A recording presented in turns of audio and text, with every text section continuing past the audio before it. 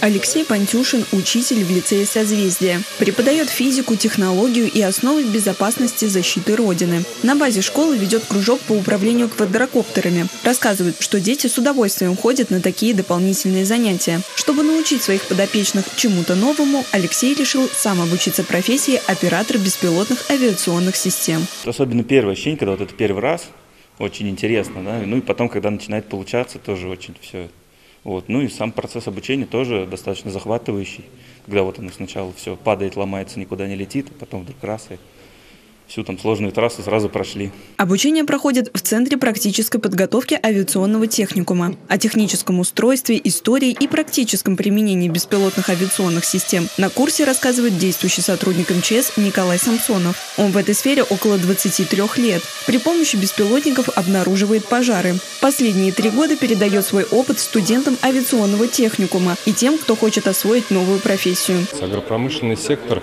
э, очень бурно сейчас развивается в плане Э, орошение полей от вредителей, это полив э, полей.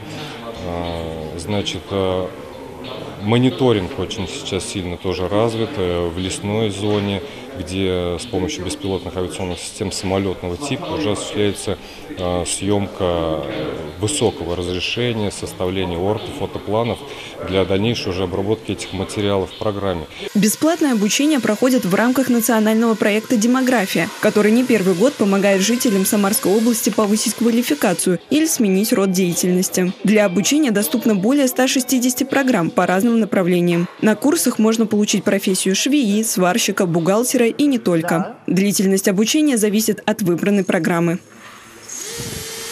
Всего 144 часа понадобится для того, чтобы освоить профессию оператора беспилотника и стать более востребованным на рынке труда. Принять участие в проекте «Демография» и бесплатно освоить новую профессию могут разные категории людей. Безработные, инвалиды, женщины в декрете, участники СВО, люди предпенсионного возраста и другие. Каждый может выбрать направление, которое поможет изменить свой профессиональный путь. Елизавета Прокопенкова, Константин Головин. События.